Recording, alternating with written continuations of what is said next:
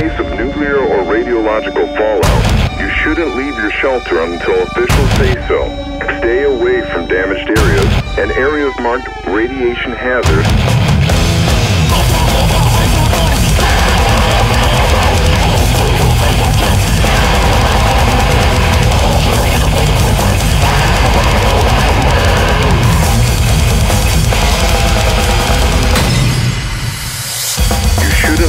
shelter on Crystal Peace